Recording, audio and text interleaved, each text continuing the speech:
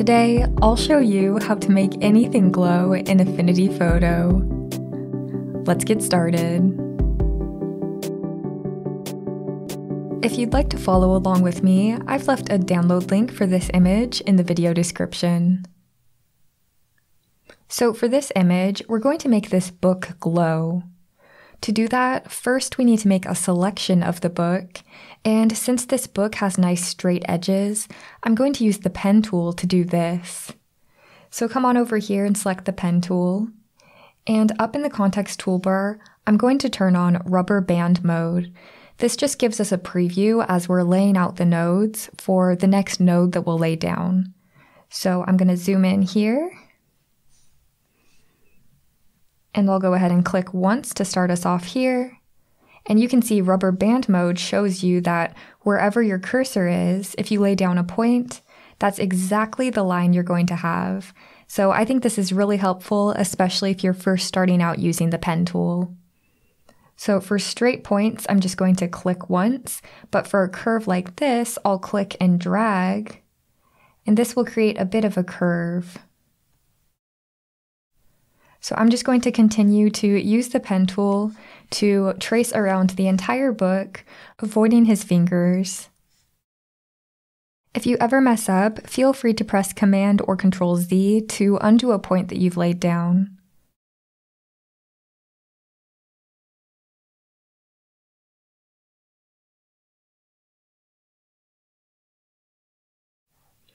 To finish off your trace, click on the first point that you started with and then we're going to go up to the top and press selection. So now I have a selection made of this book, and I want to place this book onto its own layer. To do that, press Command or Control J. This has duplicated our current layer, but only duplicated what's in our selection. I'll press Command or Control D to deselect. And now you can see on this little layer icon here that we only have the book visible on this layer.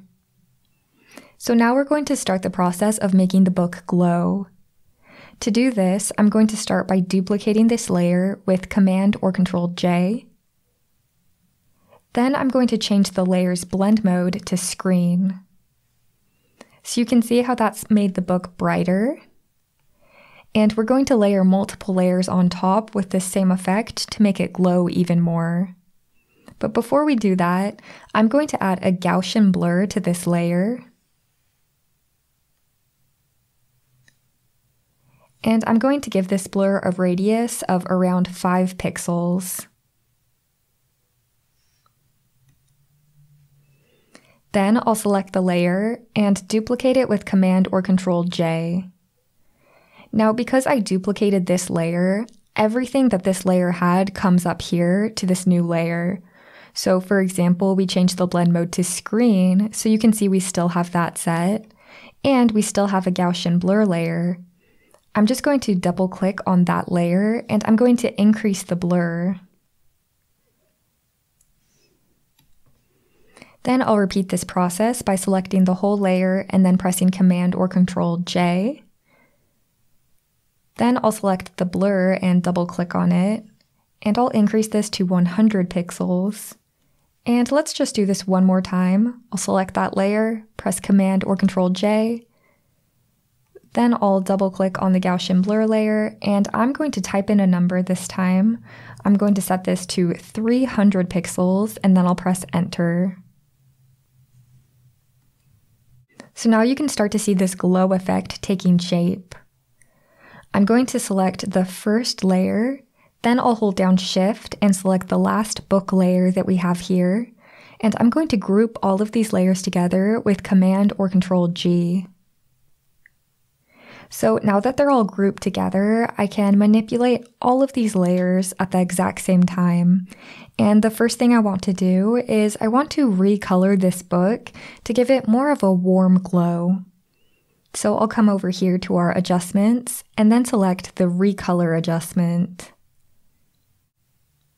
You can see this was placed on top of everything. I'm just going to click and drag this down and to the right of the group. And now it's only affecting the books.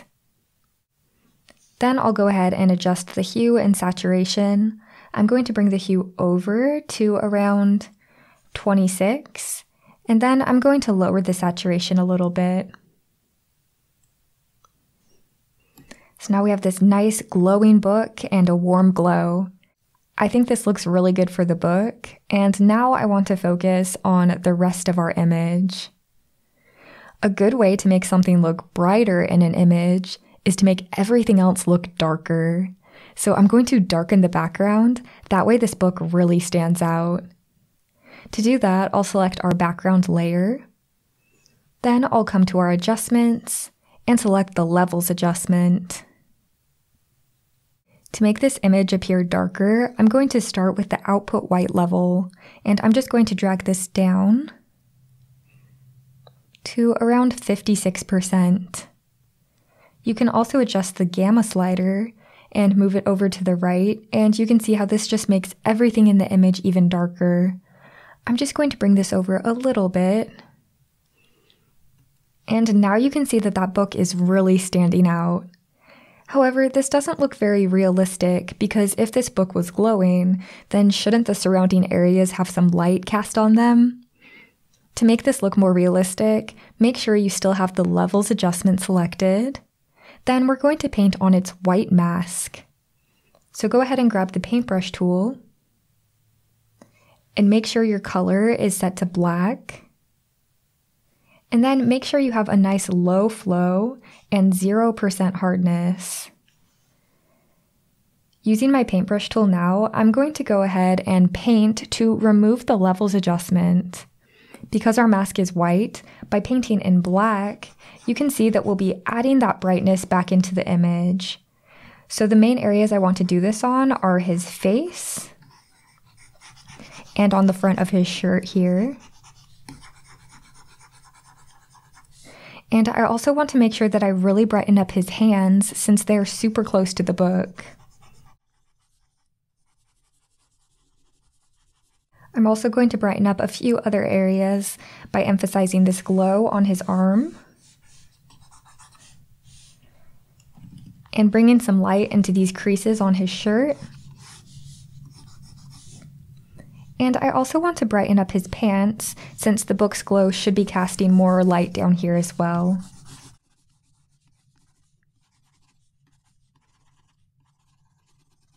In addition to removing the darkness there, I'm going to remove some of the darkness on this bookshelf behind him.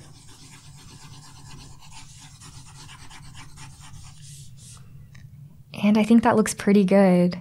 So now you can see the before and after of that levels adjustment. So now that our background looks darker, I think what I want to do is brighten our subject even more. To do this, I'll go to our adjustments and then I'll apply a curves adjustment. I'll go ahead and make this bright. And then I want this to only be applied to certain areas, not the whole image. So I'm going to invert this layer by pressing Command or Control I. So now the mask on that layer is black, meaning that it's applied to nothing. I'm going to change my paintbrush to white paint, and then I can paint in white to reveal this brightness. I'm going to reveal the brightness on his face and on the other areas that we just painted.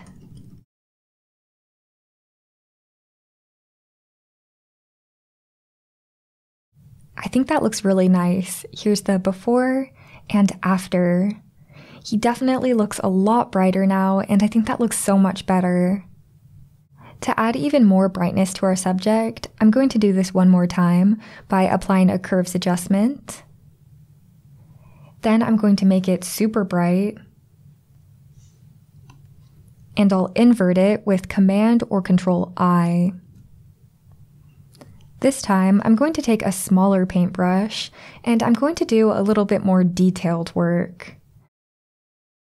So to show you this, I'm going to go ahead and add some more brightness to areas that are closest to the book, like the tip of his nose. I'll go ahead and add a little extra brightness there, the front of his face.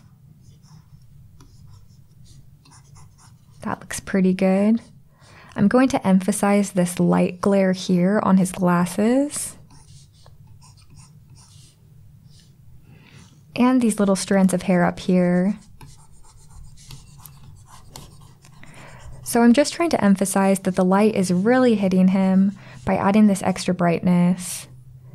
In addition, down by his fingers, I'm just going to brighten up his fingertips that are closest to the book. And over here on this hand, I'm going to brighten the side of his hand that's closest to the book. And then I'm going to brighten a few of the ripples on his pants here. And there we go. Now, I think this area on his face looks a little strange, so I'm going to use a bigger brush just to soften some of that lighting. And let's see how that's looking. Here's the before and after.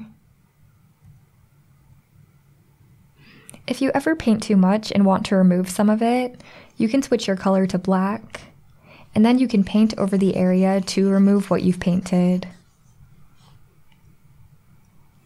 There we go. I think this is looking really nice. So here's the before and here's the after. So if you remember, we recolored this book. I want to use the same orange coloring to reflect it on our subject. I'll open up the book group and I'll select the recolor adjustment and I'll duplicate it with Command or Control J. Then I'm going to click and drag this down so that it's outside of the group. I'll press Command or Control I to invert this layer, and now we can paint in white on our subject to reveal this orange coloring. Now I'm going to use a very low flow for this because I don't want to completely recolor the subject. I just want to add some orange glow onto his face and onto his shirt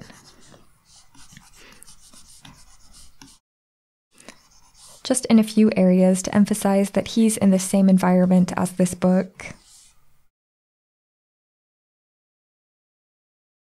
this looks so good. I'm really happy with this. Now, to finish this off, I'm going to add one more adjustment on top of everything. So I'll select the group. Then I'm going to add a color balance adjustment. This is just going to allow us to manipulate the colors in the shadows and highlights to finish off this effect. So because we have an orange glowing book, I want to apply the opposite color to the shadows. That way the book really stands out. So for the shadows, I'm just going to add a little bit of cyan and a little bit of blue. Then I'll go to the midtones, and for the midtones and highlights, I'm going to warm up these colors. So I'll do that by adding in some red and adding in some yellow. And I'll do that with the highlights as well.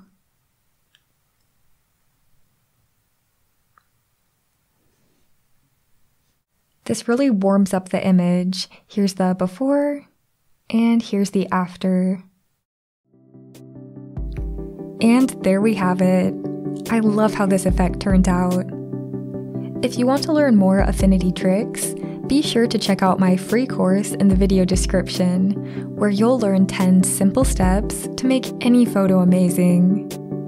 Thanks for watching, my friends, and I'll see you in the next Affinity Revolution tutorial.